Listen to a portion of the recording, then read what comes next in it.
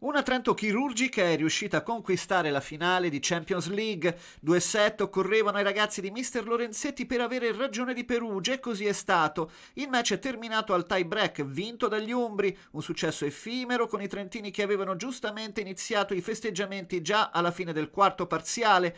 Nel corso della partita le due squadre hanno mostrato tutti i loro punti di forza ma anche i limiti. Perugia, consapevole di non poter sbagliare nulla dopo il 3-0 subito all'andata, è partita con il tour turbo, sciogliendosi poi come neve al sole alla prima difficoltà. Trento nei primi due set ha subito i colpi dei giocatori di maggior classe degli Umbri, primo fra tutti Leon, miglior realizzatore con 21 punti messi a referto, 25 a 22 il primo set per i padroni di casa, 25 a 17 il secondo, e anche nel terzo si stavano addensando nubi nere sull'Itas, con Perugia che sembrava destinata a un facile 3 a 0 per poi giocarsi tutto nel golden set, forte di una serata fin lì perfetta, ma improvvisamente la partita è girata e un turno al servizio di un sorprendente Micheletto ha cambiato tutto. È qui che è uscito il vero pregio di Trento, squadra compatta che appena vede la possibilità di giocarsela non molla un punto. E così è stato 23 a 25 il terzo parziale per i trentini e un veloce 17 a 25 a chiudere i giochi. Ennesimo blackout per Perugia ed ennesima prestazione corale da applausi per Trento.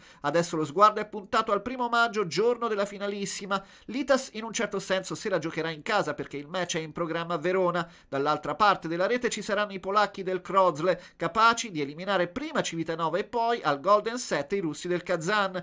Kozle che è allenato da una vecchia conoscenza dell'Itas, Nicola Gerbic.